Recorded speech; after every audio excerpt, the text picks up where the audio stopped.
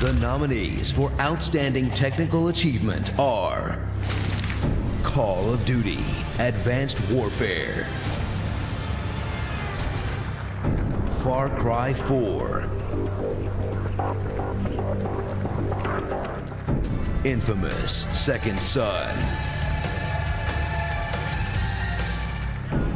Middle Earth Shadow of Mordor. Sunset Overdrive. And the winner is Middle Earth Shadow of Mordor by Warner Brothers Interactive Entertainment and Monolith Productions. Uh, awesome. Like, what, what more can you say? Uh, this is uh, this is technical, right? Like, this is the technical award.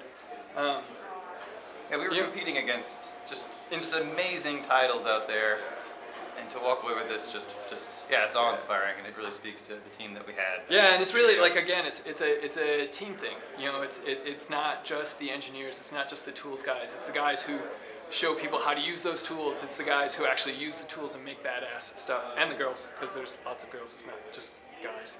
Uh, yeah, this is incredible. Uh, I, you know, having been at Monolith for 18 years, like, you, you sort of dream about doing this stuff and having this thing and, and eating it, and it literally tastes as good as you think it tastes. Yeah, it's Yeah. good stuff. Thanks, guys.